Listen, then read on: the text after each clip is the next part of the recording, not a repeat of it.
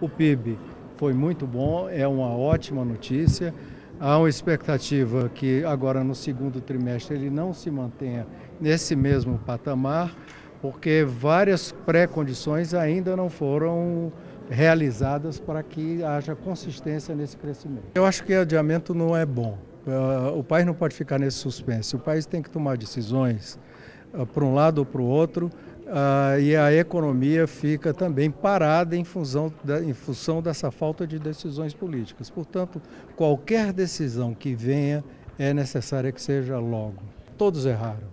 Tem duas coisas bastante diferentes: Caixa 2 e a corrupção pura e simples. Houve muita corrupção pura e simples e houve muito Caixa 2. Todos os dois são errados em níveis diferentes.